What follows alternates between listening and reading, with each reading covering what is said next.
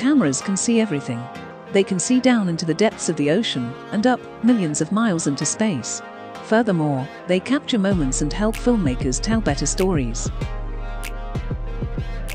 In our last episode, we discussed how a lens works and different looks each lens type has in a film. But in this episode we'll be going over how they work with the camera body and how the camera body functions. If you are new here, welcome and be sure to subscribe. Spectrum Film School, making learning fun. This is going to be a long one. So please go grab a drink.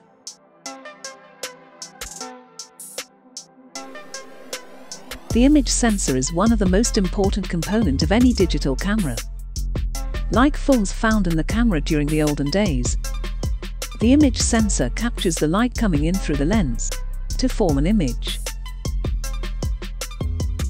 As it might sound simple and just a click of a button, there's a whole lot that goes into the making of an image.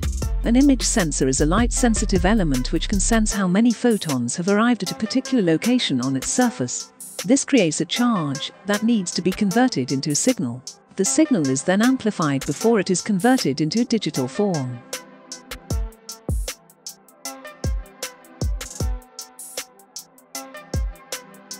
Sensor sizes APS-C 23.6 mm by 15.8 mm. The most common sensor size in consumer and semi-professional cameras. The APS-C sensor. It applies a crop factor between 1.5 to 1.7 to mounted lenses. It's also found in Sony compact system cameras. Canon EOS 77D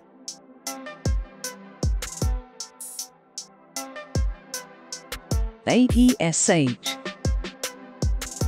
28.1mm by 18.7mm.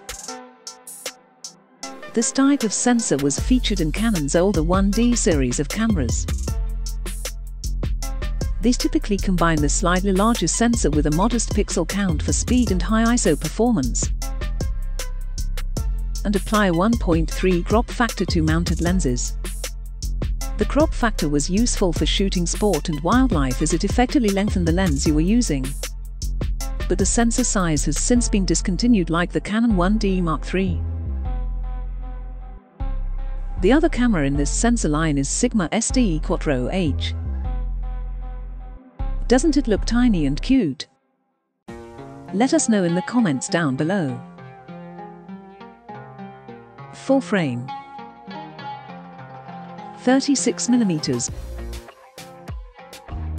by 24 mm.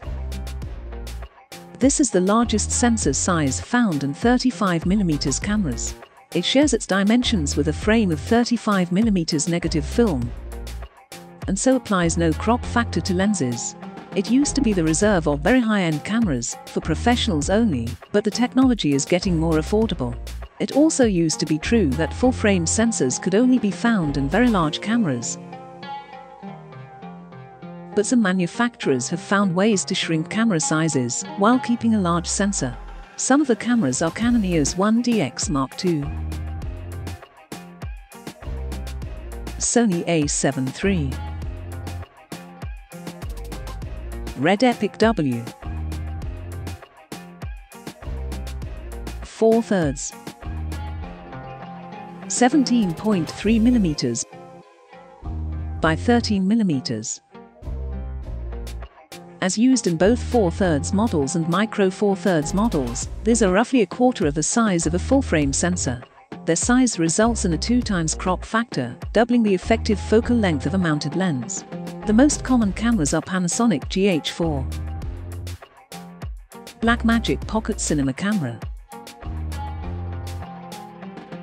Now that you know all about sensor sizes and how an image sensor functions, let's go over what you get on full frame over the crop sensor.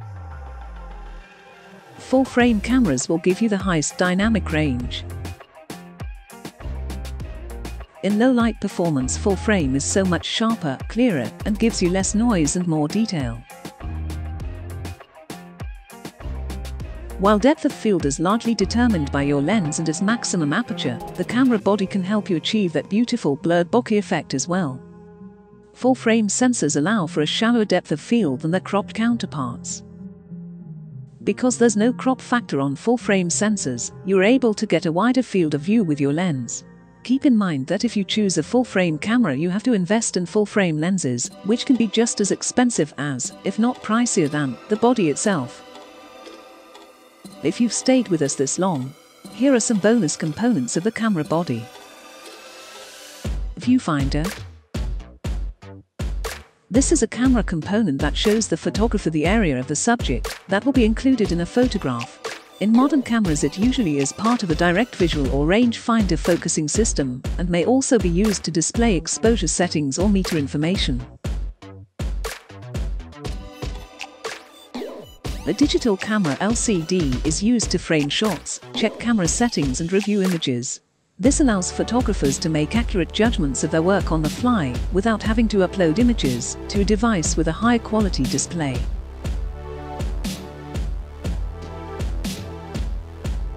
Memory cards. This hold the photos you take so choosing a memory card with a high capacity means it will hold more photos. Common capacities for memory cards range from 16 GB to 128 GB.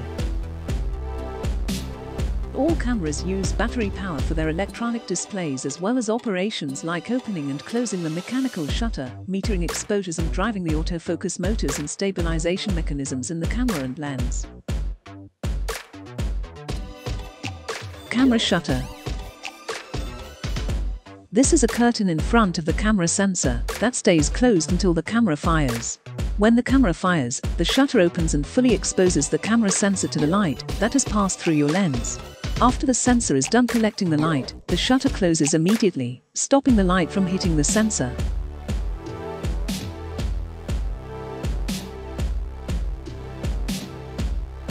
Camera mount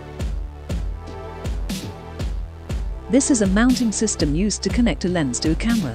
It's important that the lens flange focal distance and the camera mount flange distance are exactly the same, or focusing issues may arise. Camera mounts vary from manufacturers. A good example is the E-mount on Sony cameras. This allows for multiple camera bodies with the same mount to be used on just a single lens. The flash this is a device that emits light momentarily. You can use the flash's light to compensate for the lack of brightness when shooting in dimly lit situations like indoors or night scenes. Thanks to the instant exposure, using the flash can also be effective to prevent camera shake and subject blur.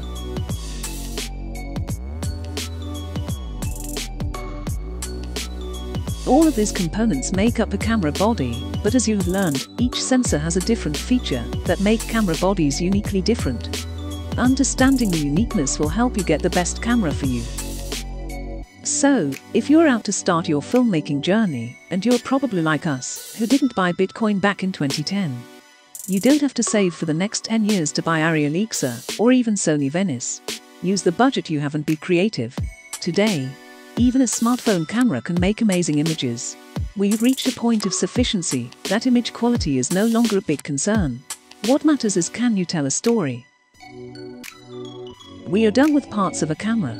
In the next series we'll explore the exposure triangle, and in the first episode we'll dive deeper into aperture and how it affects your overall image in filmmaking.